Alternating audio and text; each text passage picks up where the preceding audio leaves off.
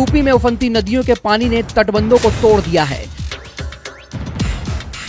जिससे कई गाँवों का शहरों से संपर्क टूट गया है।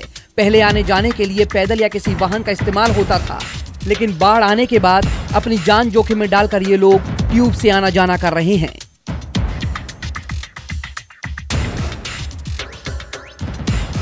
जिनके घर दो मंजिल तक हैं, वो छतों पर डेरा डाले हुए हैं। और जिनके पास नहीं वो सड़क पर मौसम के सितम का सामना कर रहे हैं। वैसे बाढ़ में हम लोग आते जाते हैं इधर से। कब से पानी बढ़ा है? ये पानी दो चार दिन हो गया का नाम और नदी ढेर बढ़ गई है का नाम है समझ लीजिए पाँच फुट बढ़ गई है। तो कैसे आते जाते हो आप ऐसे टिप से आते जाते हैं। इस तस्वीर को देखिए। ये बाढ़ खंड सिंचाई विभाग के अधिकारियों की है। जो नदी को मनाने के लिए पूजा अर्चना करने लगे हैं।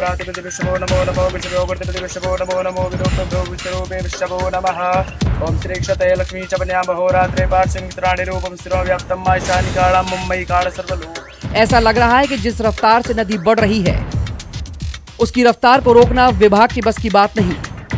जो ज़रूरी व्यवस्थाएँ बारिश का मौसम आने से पहले करनी चाहिए थी, जिससे बाढ़ को रोका जा सके, वो न करके पूजा करके पानी को थामने की कोशिश की जा रही है।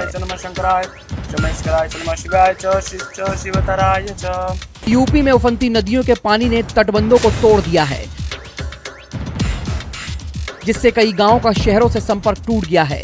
पहले आने जाने के लिए पैदल या किसी वाहन का इस्तेमाल होता था, लेकिन बाढ़ आने के बाद अपनी जान जोखिम में डालकर ये लोग ट्यूब से आना जाना कर रहे हैं।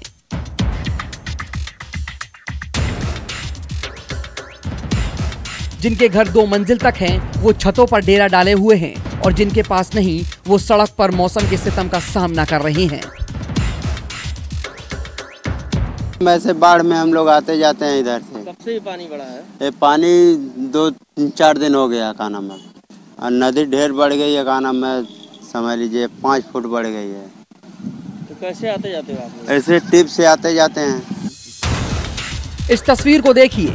ये बाढ़ खंड सिंचाई विभाग के अधिकारियों की है जो नदी को मनाने के लिए पूजा अर्चना करने लगे हैं।